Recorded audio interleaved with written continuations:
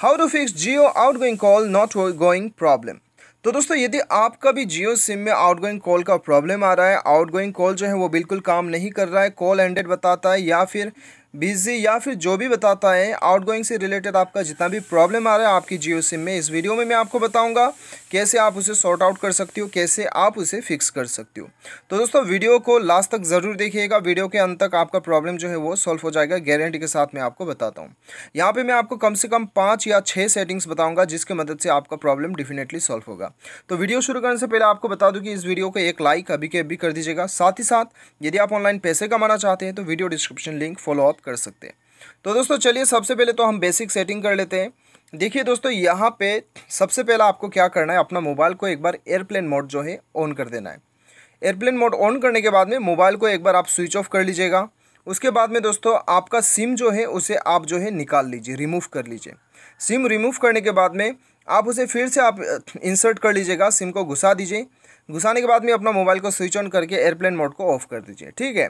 उसके बाद में आप एक बार चेक करके देखिए कि आपका आउटगोइंग कॉल काम कर रहा है कि नहीं, ठीक है? कभी कभी दोस्तों ये करने के बाद में फिफ्टी परसेंट प्रॉब्लम जो है मोबाइल का सॉल्व हो जाता है सिम से रिगार्डिंग ठीक है?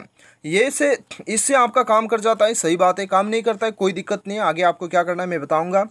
यहाँ पे आपको सेटिंग पे आने के बाद में dual sim and cellular network आपको शो कर रहा होगा, या फिर आपके मोबाइल में सिम मैनेजमेंट या फिर मोबाइल नेटवर्क ये तीनों में से एक आपको शो करेगा बेसिकली आपको सिम में जाना है, ठीक है? और यहाँ पे दोस्तों, यदि आपका दो सिम है तो जिस सिम में आपको प्रॉब्लम आ रहा है, वो सिम आप यहाँ पे सेलेक्ट कर लीजिएगा। उसके बाद में दोस्तों, यहाँ पे आपको जाना है करियर सेटिंग पे, ठीक है? आपको शायद करियर कॉल सेटिंग आपको शो होगा। तो यहाँ पे ऑटोमेटिक सर्च या फिर ऑटोमेटिक सेलेक्ट आपका आएगा, इसे आपको बंद कर देना है। चलिए हम इसे बंद कर देते तो दोस्तों, ये बंद करने का क्या होता, क्या मतलब होता है कि अभी यहाँ पे जो है, हमारा नेटवर्क ऑटोमेटिकली सेलेक्ट होके रखा था।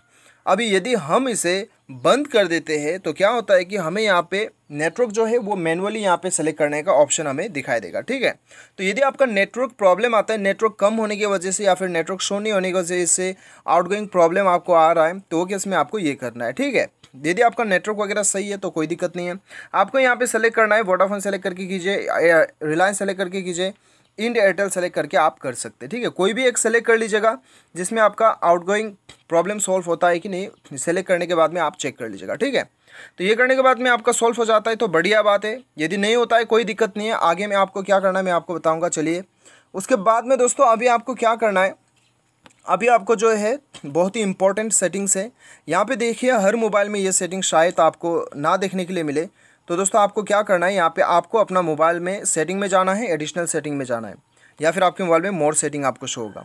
उसके बाद में आपको बैकअप एंड रीसेट पे जाना है, ठीक है? दोस्तों लोकेशन थोड़ा बहुत इधर उधर हो सकता है। मैं जो आपको यहाँ पे दिखा रहा हूँ, आपके मोबाइल में शायद लोकेशन इधर उधर हो सकता है तो आप मैनेज कर लीजिएगा। रीसेट टू फैक्ट्री सेटिंग पे चले जाइए। अभी यहाँ पे आपको रीसेट सिस्टम सेटिंग ओनली दिखाई दे रहा है। यानी कि ये करने के बाद में क्या होता है कि यदि हमने अपना नेटवर्क में कुछ छेड़खानी करके रखा है सेटिंग उलट पुलट करके रखा है तो क्या होता है कि ये कंपनी का जो डिफ़ॉल्ट सेटिंग होता है, उसी में ये सेट हो जाएगा।